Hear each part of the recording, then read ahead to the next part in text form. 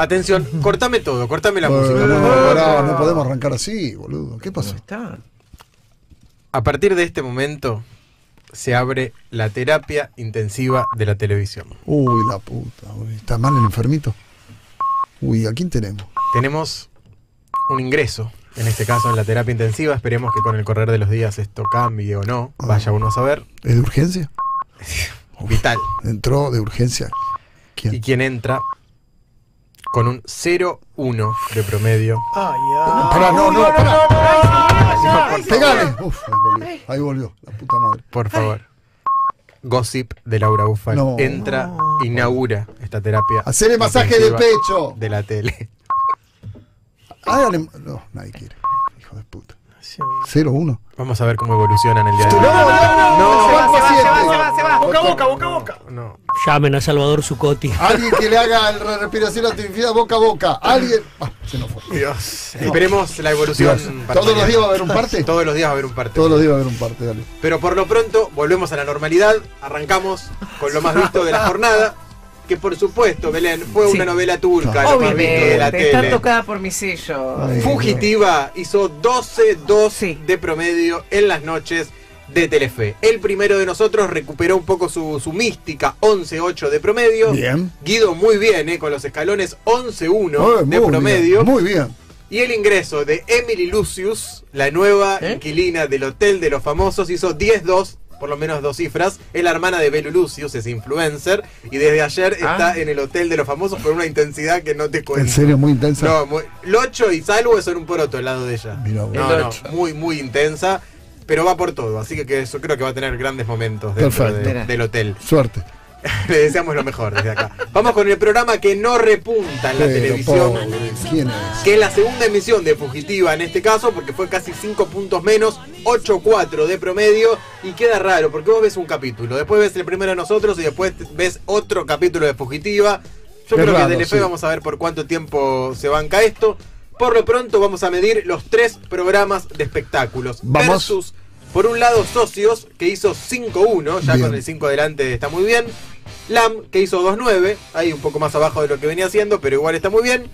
Intrusos 2-7. Recuperó Ahí algunas recuperó, décimas. recuperó, bajó LAM Con y una recuperó. fuerte pelea. Ayer. Flor de la B prácticamente ¿Con la, la paró en seco a Nancy Duré. Le dijo, ¿te podés callar en el medio de una entrevista? De- de- dejemos hablar al entrevistado. La detesta y se nota. Y ya es como... Ah, pelea entre. Ah, mira, Sí. ¿habrá chat paralelo también entre ellos? Individual. Seguro, sí, de- yo creo que Ahí va a haber chat de individual. dos y tres personas. Y de menos también de una sola, que así mismo se putea, se incentiva. Tremendo, fue muy fuerte. Sí. Pero bueno, Sí, es un así. ambiente raro. Está bien. Flor de equipo 4-5 para Denis Dumas, que parece que se queda, Georgina, tomate vacaciones porque no, no, no arranca. Y el pollo, nosotros a la mañana 4-5. Vamos con el remador en este caso porque recuperó el 3 adelante y ya es una buena señal. Zuleia, esto pasó ayer, recordemos que está en el lugar que, que había dejado casados con hijos. 3-1 de promedio, por lo menos le ganó a Calabrese que hizo 2-8 y a Es por ahí que hizo 1-7 de promedio. Novelas turcas en la tarde de Telefe, Zuleia 10, 4 No de creer. promedio. Soñar contigo 9-6, Ercay 8-8. Vero Lozano 7-6 de promedio. Bien. Lo de Germán Pavlovsky en el mediodía de Telefe, tremendo. El noticiero de la gente 8-1 de bien. promedio contra 6-2 de Sandra Borghi y de Luis Otero. Vamos con un batacazo. Y llega Dale que sobo, dale que sobo, Sí. dale que sobo. en la tarde del 13, que es tan cuestionada a veces, Barassi metió un 7-2 Muy de bien. promedio en el día de ayer. Bien, Barassi. Excelente, ¿eh? 100 argentinos dicen muy pero muy bien. 6-8 para Guido con los escalones en la primera emisión. Laurita 5-4 con Bienvenidos a Bordo. Y- llega el destacado de la Vamos, jornada. vamos. 5-3.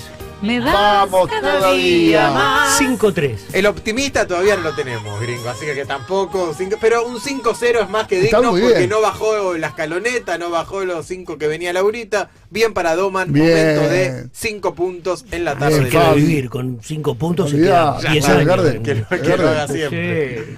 Karina Mazoco a la tarde 2-7 en América, 2-7 también para el show del problema que empató con intrusos en el mismo horario, 2-1 para Listorti y 2 puntos para Está en tus manos. Pero tenemos un cebollita en la tarde del 9 No me diga que otra vez. No, en este caso le tocó a Maju.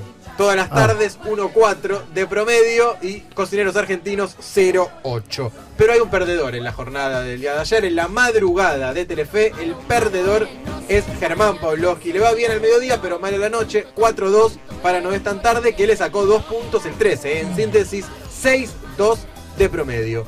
Guerra de noticieros 9-4 para Telefe Noticias y 7-1 para Telenoche. Bendita 4-8, muy bien, mantuvo el rating del día anterior. 1-5 para Intratables, 1-9 la hora exacta.